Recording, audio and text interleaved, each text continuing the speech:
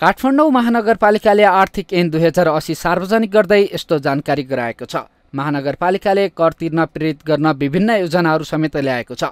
Parking प्रयोजनमा बहुतले भवन निर्माणलाई प्राथमिकता देखेको महानगरले सडकमा अनुमति नलिई निर्माण सामग्री राखेमा चर्को जरिमाना लगाउने नियम ल्याएको छ। फन पार्कमा व्यवसाय कर सुरु गरेको महानगरले व्यावसायिक र आवासीय भवनले पार्किङ शुल्क लिन नपाउने गरी निषेध गरेको छ।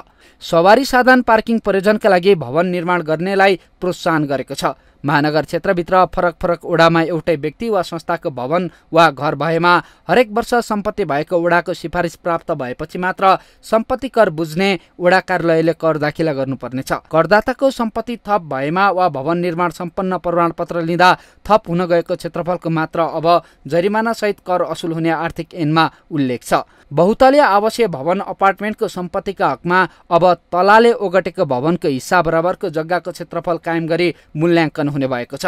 काठमाडौँ महानगरभित्र सवारी साधनलाई भाडामा लगाउने व्यक्ति वा संस्थाले अब बहाल कर तिर्नुपर्ने भएको छ। यसअघि जग्गा भवन घर पसल ग्यारेज वर्कसप गोदाम टहरा सेड जग्गा वा पोखरी पुरै वा आंशिक तवरले भाडामा लगाई प्राप्त बहाल कर रकममा बहाल कर लाग्ने प्रावधान थियो। तर वार्षिक बहाल कर एक लाखभन्दा कम हुने र आम्दानीको अन्य स्रोत नभएका करदाताहरूको हकमा भने कर छुट माग्न सकिने र त्यसमा मूल्याङ्कन गरी पचहत्तर प्रतिशत छुट दिन सकिने प्रावधान आर्थिक ऐनमा उल्लेख छ।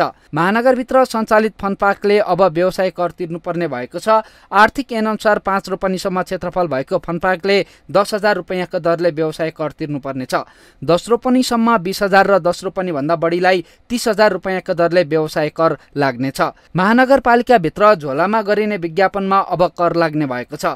झोलामा गरिने विज्ञापनमा वार्षिक एक सय रुपियाँ प्रति गोटाको दरले विज्ञापन कर लाग्ने भएको हो। व्यवसाय दर्तासँगै ओडामा बुझाउने प्रावधान महानगरपालिकाले ल्याएको छ।